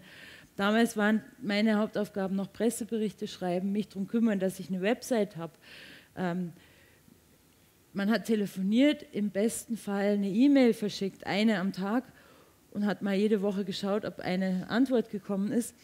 Und heute funktioniert die Kommunikation ganz anders. Wir sind ständig, also mein Sohn würde die Frage, wenn du ihn fragen würdest, ob er auch Profi-Bergsteiger oder Kletterer werden möchte, würde er sagen, auf keinen Fall. Ich gehe gern klettern, aber davon leben, wie, das ist ja schrecklich. Der sieht, wie viel Arbeit dahinter steckt, mhm. dass ich ständig am Computer sitze, wenn ich nicht draußen mit, äh, Klettern oder Bergsteigen bin. Der sieht, wie das Netzwerk funktionieren muss, wie ich meine Posts mache, wie ich mit Sponsoren kommuniziere. Ich muss meine Projekte natürlich interessant anbringen oder kommunizieren, damit die sagen, jawohl, 50.000 Euro für eine Shisha-Pangma-Expedition, die übernehmen wir, kein Problem. Das passiert alles andere als einfach heutzutage. Und dann hast du die Tasche voller Geld, gibst die am Weg aus und du hast eine relativ, kleines, äh, relativ kleine Chance, dass du jemals oben ankommst. Mhm. Also, in dem Stil, den ich favorisiere. Und äh, uns allen und auch den Firmen ist klar, dass die da keine Erwartungen haben dürfen, sonst würden wir unser Leben riskieren. Und mhm. meine Erfahrung ist eher die, dass nach einer gescheiterten Expedition, mit der wir knapp dem Tod entkommen sind, also das ist eine andere Geschichte, die möchte ich jetzt nicht weiter ähm, äh, ausholen, aber meine Erfahrung war eher extrem positiv. Mhm. Jeder hat sich bedankt, dass wir umgekehrt sind, dass wir zurückgekommen sind und es wurde auch bestätigt, dass wir nie wieder Geld bekommen für eine 8000er-Expedition, weil das viel zu gefährlich sei. Ja. Also das ist ein guter, gutes Stichwort, 8000er-Expedition. Ich glaube dir das und ich habe in der Erfahrung mit dem Umgang großer Firmen, und die sind auch überschaubar, das ist ja nun äh, im Outdoor-Sportbereich, gibt es ein paar große Player, die auch als Sponsoren auftreten, auch das Gefühl, dass der Druck nicht so stark ist, der aktiv ausgeübt wird. Und dennoch ist er da. Also, und das ist ein Teil der, der Medialisierung sicherlich. Also ich, ich habe ein Beispiel und da äh, stellt es mir immer noch die Nackenhaare auf. 2015 hat es eine Shisha-Pangma-Expedition gegeben, geleitet von ähm, äh, Benedikt Böhm. Äh, und er hatte seinen Freund oder Nicht-Freund, darüber kann man sich streiten, Basti Haag da dabei. Diese Expedition ist in einem Drama geendet mit einem Lawinenabgang äh, beim Gipfeltag. Äh, zwei Bergsteiger, Basti Haag und, und der Zambaldi, der Italiener, sind gestorben. Martin Mayer, ein Münchner, hat es mit wahnsinnig viel Glück überlebt. Ähm, was ich jetzt aber erzählen will, ist, dass es Posts gab von dem Gipfelanstiegtag, die ausgesendet wurden zum Zeitpunkt, wo Basti Haag schon tot war, war hat er angeblich ähm, einen Post äh, vom Gipfelanstieg gesendet. Die waren vorbereitet, äh, die wurden dann schnell wieder vom Netz genommen. Also das ist belegbar. Das zeigt auch, welche, na, ich nenne es mal, welcher Wahnsinn dahinter steckt. Das war ein Druck, den sich die beiden, also ich würde da sagen, das waren beide, Benedikt Böhm und äh, Basti Haag, aufgebaut haben. Das wurde vorher über Spiegel Online, über Monate wurde diese Expedition Double Eight, Weltrekord, zwei 8000er in 14 Tagen, glaube ich, äh, und dann noch von Basislager zu Basislager mit dem Fahrrad. Also es musste irgendwie was ganz, ganz Großes sein. Und das zeigt eigentlich auch die Perversion, äh, des, wo wir mittlerweile angelangt sind. Das ist meine persönliche Meinung. Und ich hätte da gern auch, also das ist belegbar. Es wurden Posts gesendet, wo der schon tot war, also fake, eindeutig fake. Ähm, äh, wo, also ist das ein ist das was, was ihr irgendwie äh, auch beobachtet, dass es sozusagen diese Auswüchse gibt? Oder, äh, was, also ich habe das noch nicht beobachtet. Ähm, also ich hab, ich hab, mir geht es eher wie dir. Ich habe auch das Gefühl, wenn man eben mit Sponsoren, mit, äh, mit, mit großen Big Playern da irgendwie sich unterhaltet zu diesen Themen, Athleten, Expeditionen etc., dass, ähm, so wie du es jetzt auch geschildert hast, ähm, immer die Sicherheit des Athleten im Vordergrund steht und, und nie dieser dieser Wahnsinn. Aber das ist meine subjektive Beobachtung der letzten Jahre. Ich kann tatsächlich jetzt nicht irgendwie mhm. für, die, für die letzten Jahre davor sprechen. Ähm, aber das, was du gerade erzählt hast, das ist, äh, da stellt es einem nur die Nackenhaare auf und äh, es ist äh, furchtbar. Also ich kann mir vorstellen, wenn du medial sehr stark im Fokus bist und also die Dinge Medien und Geld spielen sicher auf, äh, auf, die, auf, den, äh, auf die Reaktion oder wie ein Mensch sich verhält oder wie er sich auch vermarktet, eine große, große Rolle, wie hoch, wie hoch er sein Risiko setzt oder wie niedrig seine Toleranz ist da. Ich glaube, je mehr Geld im Spiel ist, das ist zum Glück beim Bergsport, ist, das ist kein Tennissport oder kein Fußball, da sind die Beträge noch überschaubar, aber auch da gibt es große Differenzen und ich bin überzeugt, dass eine hohe Summe an Geld auch eine höhere Risikobereitschaft mhm. erzeugt. Kaum einer traut sich das äh, sagen von den ja, Aber ich glaube, es sind ja auch da mehrere Ebenen. Wir hatten vor einigen Jahren äh, viel stärker als heute diese Diskussion, äh, ist das Gipfelfoto echt oder nicht echt. Da wurde ja was ganz anderes verhandelt, da wurde, du hast es vorher schon angesprochen, da wurde quasi die ganze Frage der Ehre, für die der Bergsport auch steht, verhandelt. Und zwar stellvertretend für alle möglichen anderen Felder. Und was du jetzt beschreibst, diese Art von, was passiert hier quasi an, an pervertierter Logik der Inszenierung, ähm, die, die offensichtlich gar kein Gespür mehr dafür hat, wo moralische Grenzen sind. Naja, das ist natürlich Teil auch einer ganz allgemeinen äh, Entwicklung äh, zu dem, was man äh, vielleicht kampfbegriffsförmig äh, kognitiven Kapitalismus nennen kann. Das ist ja gar nicht mehr so, dass ich nur äh, quasi von außen gesteuert das oder das tue, sondern ich von innen gesteuert denke, wenn ich aufmerksamkeitsökonomisch nicht irgendwie auf den vorderen Plätzen lande, dann ist meine Existenzform gefährdet. Das hat eine ganz andere Dimension. Mhm. Damit ist quasi diese ganze Form äh, des, des äh, sich selbst Sehens äh, verbunden damit auch ein Stück weit im erfolgreichen gesehen werden aufgehen zu müssen. Mhm. Und das sind Dynamiken, die haben nicht unmittelbar was zu tun mit dem Geld, was da hinten dran ist. Und das wäre jetzt eben auch so was, wo ich sagen würde, naja, ich glaube, ich rede ja viel, weiß ich, ob das jetzt die, die, die Hubers oder mit anderen sind, wir diskutieren ja viel drüber. Ähm, ja, ich glaube schon, dass die, dass die Sponsoren an der Stelle nicht die sind, die sagen, Leute, ihr müsst es aber. Aber es gibt dann doch sowas wie eine, also ein Begriff, der da viel verwendet wird, eine Gouvernementalisierung in den Köpfen, die sagen, na, wir müssen aber schon. Mhm. Nicht, weil die uns das sagen, sondern wir haben eine Art von, eine, eine, mentale, eine mentale Regiertheit in uns, die muss gar nicht mehr fremdgesteuert sein.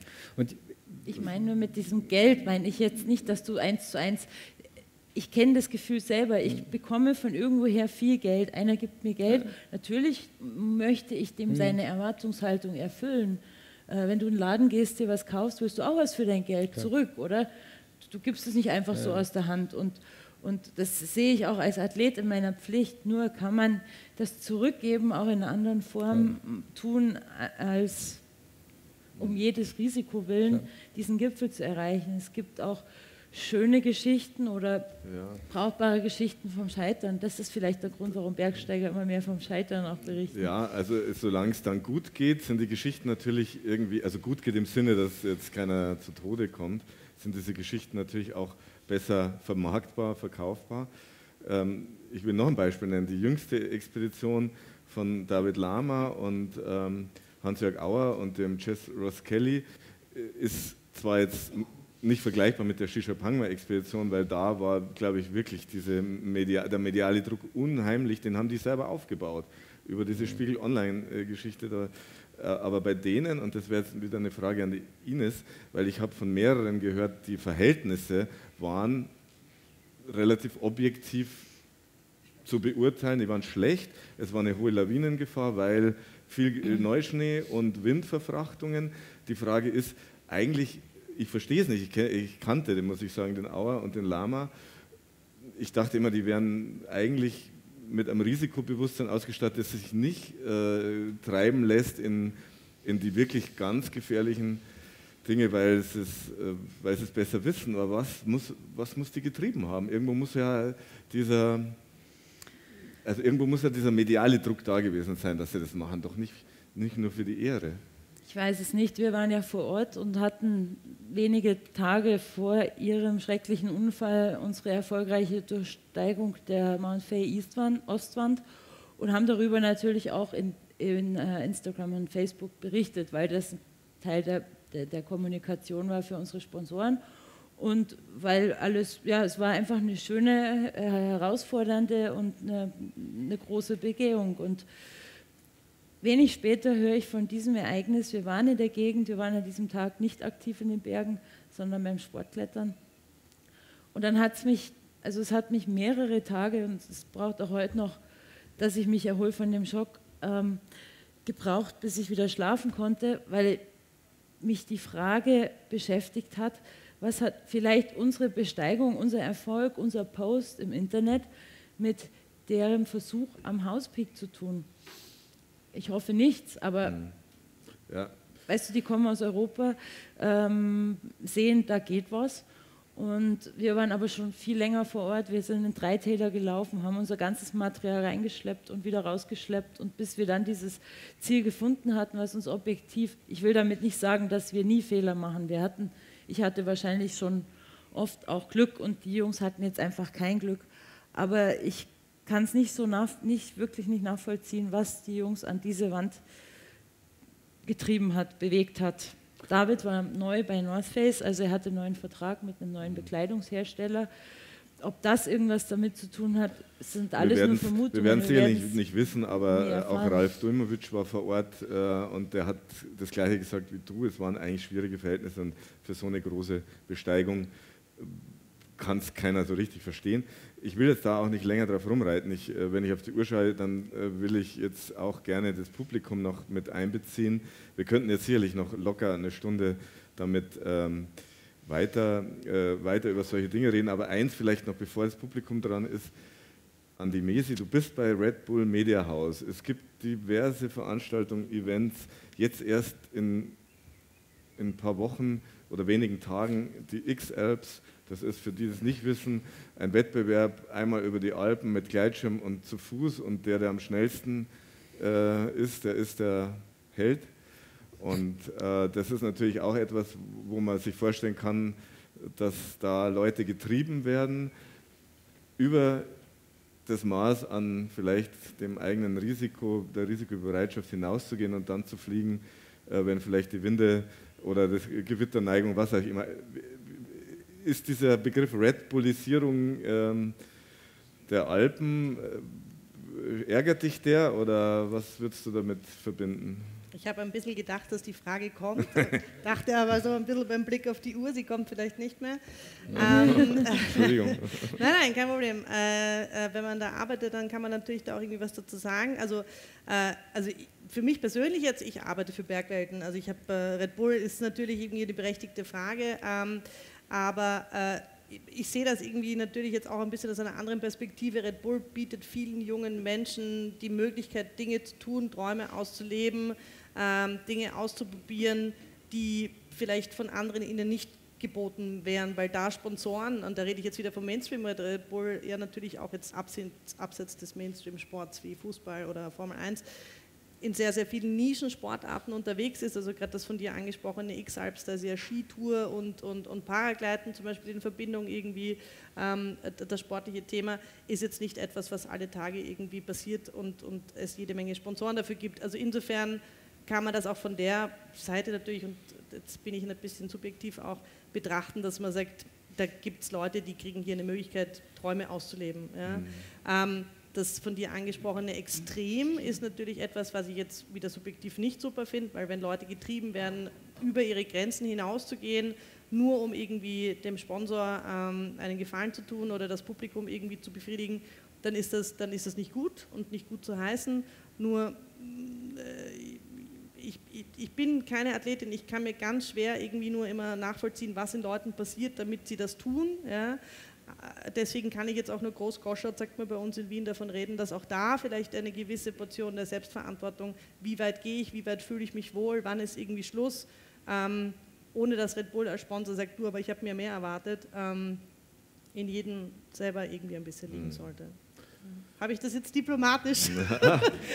du wirst nicht äh, gekündigt werden, denke ich mal. Das wäre mir ja noch am ehesten. Gut, dann möchte ich gerne jetzt Publikumsfragen zulassen. Also gleich vorweg sage ich, und ich werde einschreiten, wenn jemand jetzt Statements abgibt, das äh, weniger, äh, sondern Fragen an eine Person und vielleicht ganz kurz sagen Name und äh, an wen die Frage geht. Bitte die Dame. Äh, Katharina Kessler ist mein Name. Ich wollte erstmal ein Lob aussprechen dafür, dass zwei Frauen auf dem Podium sitzen. ich habe es vorher auch schon sehr. gelobt, aber mehr Ja, aber auch aus dem Publikum. Ja, danke. Ähm, ich hätte tatsächlich gerne ein Statement abgegeben, aber dann formuliere ich es als Frage. Ich tue mir ein bisschen schwer damit, dass es so kulturpessimistisch gesehen wird, ehrlich gesagt. Es erinnert mich so ein bisschen an die Erfindung des Buchdrucks, des Fernsehens. Es war schon immer nur ein Ausschnitt der Realität. Es war noch nie die ganze Realität. Wenn man es jetzt auf Badura-Ebene verargumentieren will, dann sind wir irgendwann beim Konstruktivismus angelangt. Also was ist heute anders als damals, frage ich mich. Für mich sind die sozialen Medien tatsächlich sozial. Also sie, es ist eine Community, ich kann mich austauschen, es ist eine Demokratisierung, auch eine Demokratisierung der Berge. Muss man es denn tatsächlich so negativ sehen, wie es jetzt irgendwie den ganzen Abend rüberkam? Und gerne können das alle beantworten.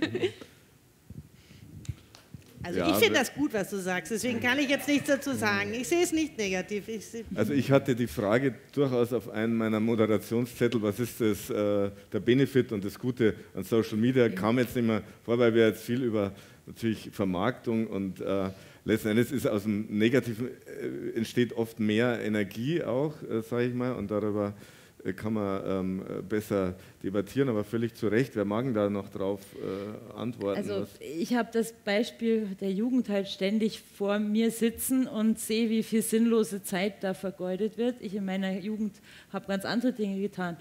Das ist das, was mich persönlich ärgert und die äh, eben nicht die Ehrlichkeit, die ich erwarte. Ansonsten nutze ich Social Media um in Kontakt zu sein mit Leuten, um äh, Leute zu inspirieren, um Leute zu motivieren und vor allem auch Frauen, die sich oft nicht so sehr zutrauen, was sie eigentlich könnten, oder zu inspirieren und zu sagen, hey Mädels, probiert es aus, an eure Grenzen zu gehen, ihr habt es auch drauf, ihr, ihr könnt mutig sein, ihr müsst nicht nur Angst haben.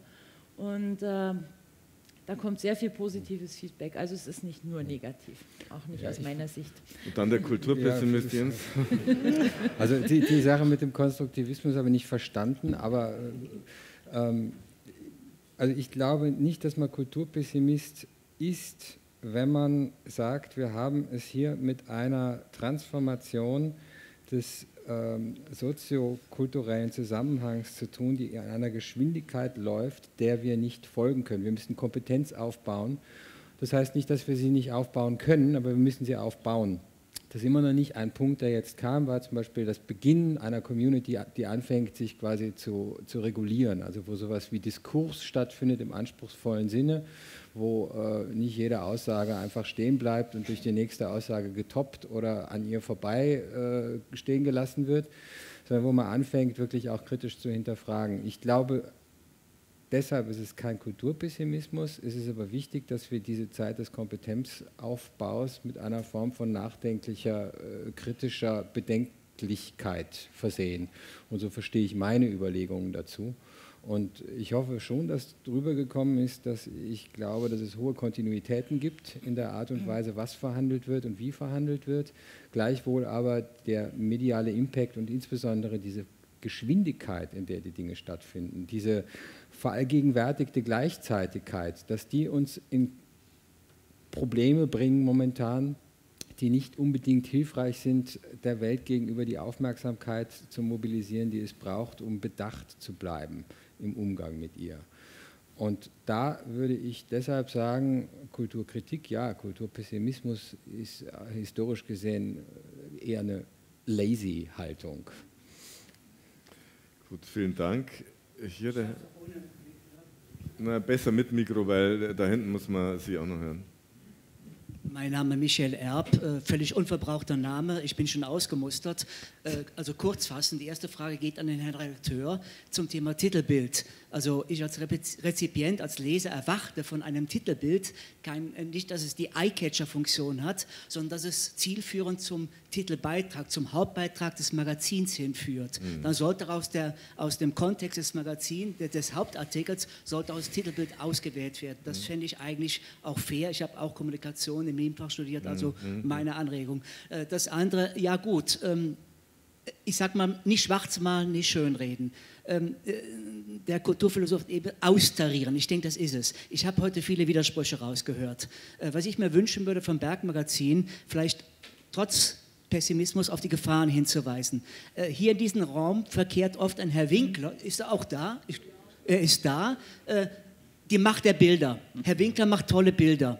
Der Berg ruft, schönes Foto von Watzmann. Und dann hat der Winkler einen Murenabgang auf eine Straße, der Berg kommt. Mhm. Genauso können wir es mit der Isar machen. Viele Schlauchboote auf der Isar, ein mhm. paar hundert Meter weiter ist eine riesige Wasserwalze, mhm. bei dem Wasserstand jetzt. Könnte man gegenüberstellen. Mhm. Und ich würde mir wünschen von den, äh, von den Medien, dass sie äh, die Gefahren auch mal visualisiert. Mhm. Denn meiner Ansicht nach gehen, äh, werden durch die sozialen Medien werden viele Menschen in die Berge gelockt, die dem nicht gewachsen mhm. sind. Äh, vielleicht noch ganz kurz, ich weiß nicht, wie lange es GPS gibt, vor 10, 15 Jahren, ich stand mitten in der Zivilisation auf der Bodenschneid. Und da war eine Gruppe junge Leute, die wussten nicht mehr vor, nicht zurück. Mhm. Die wussten noch nicht, ob sie den Bus am Spitzensee er erreichen oder ob, ob, sie lieber runter nach Josefstal äh, äh, laufen sollten. Also schon damit völlig überfordert. Mhm. Ja, also vielen Dank für den Beitrag. Also äh, die erste Frage ging ja an mich. Natürlich soll ein Titelbild, also ein Coverbild auf den Hauptartikel hinführen. Äh, da bemühen wir uns auch. Ja? Also wenn wir Watzmann zeigen, dann äh, werden wir da drin jetzt nicht über ein Hochkalt da äh, die Titelgeschichte bringen. Bitte also, nicht. also von daher, das, das, das, tun wir schon, aber dass das Titelbild bestimmte Träume, das habe ich gesagt, äh, wachrufen soll oder eben sowas wie, da, dort will ich hin, da will ich sein, das ist halt äh, etwas, wo wir die Wünsche unserer Leser auch aufgreifen. Das ist ja nicht so, weil wir das machen, weil wir das als das schönste Bild sehen, sondern wir haben ein Gespür dafür, ähm, wie ein Bild funktioniert und das hat viel mit dem zu tun, was der Jens auch gesagt hat, warum Bilder wie funktionieren, das hat sich nicht viel geändert. Das war vor 150 Jahren vermutlich nicht viel anders, nur dass da Bilder nicht so verbreitet waren und äh, dass es eher dann vielleicht mal eine Zeichnung oder äh, ein Gemälde war. Ähm, das andere, dass wir auf Gefahren nicht hinweisen würden, das, das stimmt nicht. Also wir bringen natürlich äh, jetzt keine zehn Seiten über äh, Murenabgänge, aber wenn etwas passiert und äh, offensichtlich Berge in Bewegung sind wegen Bergstürzen, dass der Permafrostbogen auftaut und so weiter. Wir, wir haben Gletschergeschichten gebracht, über den Rückgang. Was hat das für Folgen? Einzelne Hütten, der Alpenverein weiß sehr gut darüber zu berichten, haben, äh, müssen zum Teil abgebaut werden, weil die Zugänge nicht mehr da sind, weil sie instabil stehen. Also das sind Themen, die können in einem Bergmagazin und dafür stehe ich auch gerade, dass wir das bringen. Also es wird jetzt nicht der Hauptfokus des Heftes sein, weil nur negativ im Sinne von, äh, und das ist halt negativ, ja. Äh, keiner freut sich darüber, wenn die Gletscher zurückgehen, also zumindest kenne ich wenige. Ähm, insofern wird immer der größere Teil eines Magazins äh, die, die schönen Geschichten sein, aber wir haben unseren Auftrag, dass wir über die negativen Seiten oder Riedberger Horn, da haben wir viel darüber berichtet und waren ganz mit dem Alpenverein in dem, ähm, in dem Fall eins, dass das nicht, nicht gut wäre. Das ist so. Das ist jetzt die ja, Umwelt, das genau. Okay. Ich meinte jetzt, meine Zielrichtung war, äh, dass heute viele Leute in die Berge gehen, ist ja gut, ja. Leute ja. Die wollen auf der Hütte singen, die kennen die Texte nicht, klingt jetzt sehr animiert, ist aber so, könnte man auch Okay, genau. Aber ich meine, das, das würde ich jetzt gerne, weil ich bin eigentlich nicht. Ja, vielleicht noch an die, an die Mesi. Also es war ja so eins, habe ich herausgehört. Ähm, Leute können keine Karten mehr lesen, sind auf, aus. Ja, ja, gut. Äh, ich würde das die, die Mesi beantworten lassen. In dem Sinne, ähm, ist, ist da eine Gefahr drin, dass die Leute nur noch, wenn sie irgendwie ihren Navi haben? Ja, wir hatten ja letztens gerade, also bei uns in Österreich einen, einen, Fall auf der Rax, wo zwei Damen äh, sich eben dank einer, einer, einer App ähm, komplett verlaufen haben und irgendwie kein Akku, kein Empfang, kein was weiß ich was. Ähm, also wir kennen das, dass viele Menschen eben äh, sich also überschätzen und die Gefahren unterschätzen. Ähm, wir bei, also in, in, unserem Fall bei bergwetten.com, das Heft erscheint ja sechsmal im Jahr, da ist es ein bisschen weniger Thema, da ist Sicherheit ein Randthema, aber bei uns täglich äh, im, auf dem, auf dem Online-Portal ähm, bringen wir tatsächlich regelmäßig Geschichten, wie zum Beispiel das Berg-Know-how, wo wir dann, ich sage es immer so ein bisschen wie früher, diese Kinderbücher, wer, wie, was oder wie die hießen, ja, wo wir wirklich tatsächlich banales, alpines Wissen vermitteln. Was ist ein Höhenmeter? Was sind Lawinenwarnstufen? Wie lese ich eine Karte richtig? Das sind Dinge, die Menschen einfach zum Teil nicht wissen und sich auch gar nicht trauen, es zu fragen, weil es könnte ja peinlich sein, wenn ich das irgendwie jetzt zugebe, dass ich das nicht weiß. Ja. Aber heutzutage kann man doch alles googeln und ein bisschen ja, Intelligenz die, kann man doch jedem Menschen zutrauen. Ja, das, man muss ihm doch nicht ja, alles im, im das Printmagazin eben, bringen. Also das sind Geschichten, die wir, wir, wir bringen die ja auch, weil wir ja auch sehen, äh, dass die Bedürfnisse da sind, weil wenn wir das, wenn wir das publizieren, publizieren, die Leute reinklicken, sich zwei, drei Minuten damit beschäftigen, dann ist ja die Bestätigung dafür uns da, dass das ja auch sozusagen das Bedürfnis war, dass der Mensch das braucht, dieses, dieses Wissen. Mhm. Und äh, insofern weisen wir da immer wieder auf Gefahren, Gefahren hin. Wir, wir be bewerten unsere Touren, die wir, die wir auf äh, unserem Portal haben, nach der SAC-Skala, ähm, äh, wo wirklich Bergführer jede einzelne Tour äh, äh, bewerten ähm, nach Machbarkeit. Und man muss dazu sagen, wir sind halt auch wirklich, wir sind eher die Flachen. Bei uns ist ja ganz selten mal ein 4000 dabei, bei uns ist ja wirklich tatsächlich gemütliches Wandern, wo schon auch viel passieren kann, ja, aber ähm, noch irgendwie in Gefahrenzonen, die, glaube ich, zum Teil überschaubar sind. Ich würde auch gerne was sagen. Also was man schon beobachten kann, sage ich jetzt mal sowohl aus der Perspektive Bergrettung als auch aus der Perspektive Bergschule, ist, dass die Leute sehr viel mehr nachfragen. Und ich muss ehrlich sagen, ich fühle mich nicht vielleicht mehr, aber ich fühle mich nicht gut äh, dabei zu sagen, ja, das sind die ganzen Dodeln, die in die Berge gehen. Es gibt wirklich viele, die sagen, wir möchten gerne in die Berge gehen, aber wir sind uns klar darüber, dass wir das nicht ohne entsprechendes Know-how und ohne entsprechende Unterstützung können. Und was ich nicht gedacht hätte vor einigen Jahren, was wir jetzt machen, ist eine Wanderausbildung. Äh, klingt, klingt komisch, aber Mai, das tut gut. Die Leute sind zufrieden, die lernen was und die gehen nachher wirklich anders raus. Und das ist ja gescheiter als googeln, glaube ja. ich. Ja? Ja. Und wir haben ein aufwendiges Selbstcheckverfahren gemacht mhm. äh, zur Selbsteinschätzung äh, und es funktioniert nicht, wenn ich noch nie einen Höhenmeter gegangen bin, weiß ich nicht, was ein Höhenmeter ist. Ich muss es tun mhm. und ich muss bestimmte Erfahrungen machen, die mich knapp vors Scheitern bringen, aber halt möglicherweise so, dass mich dann da jemand rausholt. Wir alle sind alpin so sozialisiert worden, nur haben wir es nicht gemerkt. Und mhm. quasi diese alpine Sozialisierung ein Stück weit geplant nachholen zu können. Das ist durchaus Bedarf und da finde ich die Arroganz gegenüber, die können ja eh alle nichts am Berg und da laufen nur Dodeln rum, äh, nicht, mhm. nicht richtig. Klar, es gibt Zahlen, die eindeutig darauf hinweisen, wir haben zwar keine relativ gesehen Steigerung der Einsatzzahlen, wir haben eine Veränderung der Einsatzarten, das sind, wissen wir alles. Und da gibt es viel Potenzial. Die Alpenvereine tun viel im Bereich Prävention, aber äh, ja, einfach nur darauf rumschimpfen, ich denke, man muss. Äh, äh, ist arrogant, ja, das ja, sehe ich genauso. Ich ähm, eine Frage würde ich noch zulassen. Der Axel Klemmer, auch ein Kollege. Ja, also Axel Klemmer, grüß Gott. Eine Frage habe ich an die Missy Tötschinger. Ähm, auf der Seite von Bergwelten kommen sehe ich bei den Partnern ähm, Partnerschaften mit den Alpenvereinen in Österreich und mit dem Alpenverein Südtirol. Ich weiß nun auch, dass ihr den deutschen Alpenverein angebaggert habt, der hat euch noch widerstanden. Was erwartet ihr euch denn eigentlich von so einer Partnerschaft mit dem Alpenverein? Entschuldigung, die letzte Frage, also die wesentliche Frage habe ich nicht verstanden akustisch, die Partnerschaft. Was erwartet ihr euch denn von einer Partnerschaft mit dem Deutschen Alpenverein? Würdet ihr euch erwarten, wenn er denn auch umkippen würde?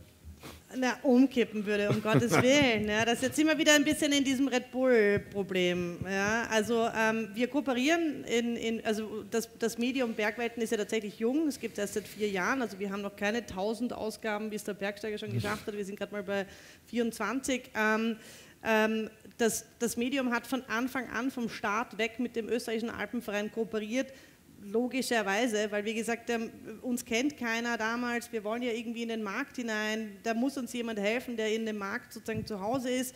Alpenverein, was haltet ihr davon? Wir würden gerne sozusagen eure Themen irgendwie ebenfalls transportieren.